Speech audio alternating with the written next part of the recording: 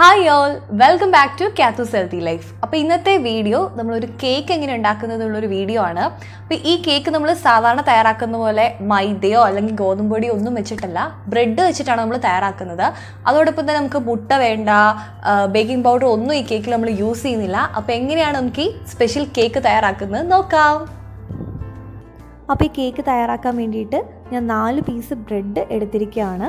ഈ നാല് പീസിന്റെയും ബ്രെഡിന്റെ ഈ നാലറ്റം നമുക്കൊന്ന് കട്ട് ചെയ്ത് മാറ്റാം. ഒരു കത്തി വെച്ചിട്ട് തന്നെ നമുക്ക് പെട്ടെന്ന് കട്ട് ചെയ്ത് മാറ്റാവുന്നതേ ഉള്ളൂ.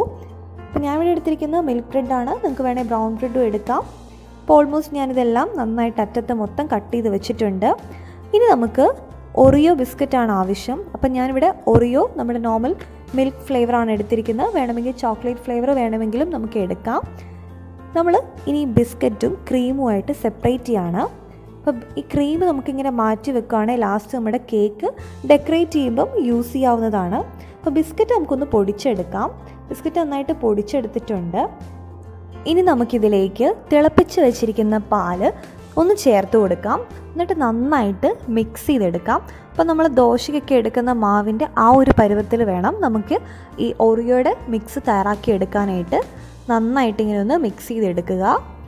അതുപോലെ ബാക്കി വെച്ചിരിക്കുന്ന ക്രീം ക്രീമിലും കുറച്ച് പാൽ ചേർത്ത് നന്നായിട്ടൊന്ന് സോഫ്റ്റ് ആക്കി എടുക്കുക. ഇത് വെച്ച് നമുക്ക് നമ്മുടെ കേക്ക് ഡെക്കറേറ്റ് ചെയ്യാനാണ് ഇത് എടുക്കുന്നത്. ഇനി നമുക്ക് കേക്ക് സെറ്റ് ചെയ്യാം.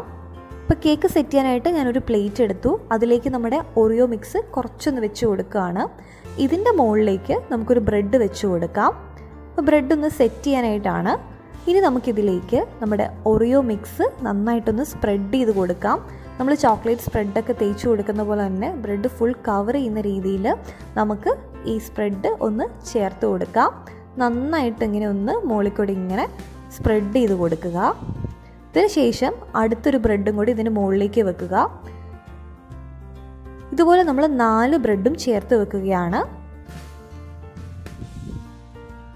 അപ്പോൾ നമ്മുടെ കേക്ക് റെഡി ആയിട്ടുണ്ട്. നമ്മൾ നേരത്തെ മാറ്റി വെച്ചിരിക്കുന്ന വൈറ്റ് ക്രീം വെച്ചിട്ട് നമുക്കിനി ഡെക്കറേറ്റ് ചെയ്യാം.